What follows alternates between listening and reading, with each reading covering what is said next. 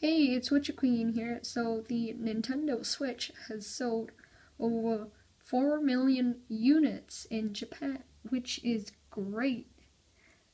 It's like, it surpassed the lifetime sales of the Nintendo GameCube.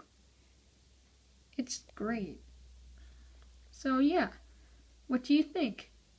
Did do you have a Nintendo Switch? Will you buy one in the future? Which games are you playing? If you enjoyed this video, please like, share, favorite, comment below, and subscribe. Thanks for watching. Bye.